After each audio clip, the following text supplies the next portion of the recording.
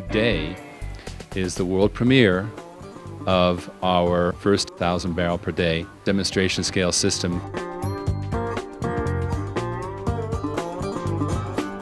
We're here in Delta, Colorado, which is where Industrial Systems Inc., ISI, is located. They were among the first few people to step up to our technology and want to adopt it. We've investigated, and this is by far the cleanest, the easiest system out there. Today we showed the public and the trade, a lot of customers, what Clean Frac was all about.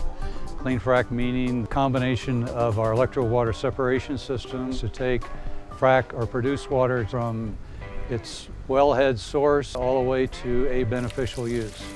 Colorado is the watershed state, and I think we have something like four rivers coming through here and winding up in the Colorado River. And Colorado is starting to really, really, really get serious about water quality. Water is essential and it's not an inexhaustible commodity that we have. We have to take care of it. So it's very interesting to see that a technology is emerging to deal with water and it can be treated and reused or even perhaps reintroduced back into the environment in a good way.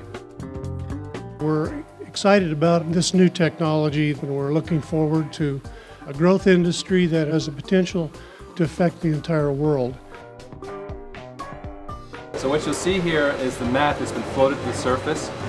This is the gunk, and underneath this is pretty clear.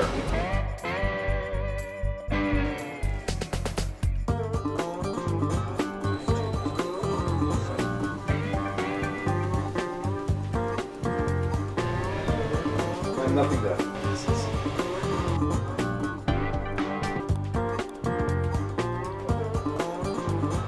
You wouldn't believe the drastic difference. It's from some of the most toxic, sludge looking stuff that you've ever seen to uh, almost drink quality. Actually, we're to help the community where they're not going to be so intolerant to water being put back down into the creeks or whatever because it's going to it's going to be clean since we're involved in sustainable development. If we can look at this technology as a source of dealing with the issues associated with oil and gas in a more responsible fashion, we think we are in a win-win situation. Another thing that came up, the frackers and the oil producers themselves are bringing up water way, way underground. And that water, if it's cleaned, is a found source of water. And that's actually a way that the oil industry could help these economies, which right now are literally drying up. I think about what we're doing here in western Colorado now and the use of water. Much of the controversy surrounded about the use of water, and if we can clean it up, you know what, I have to live here also.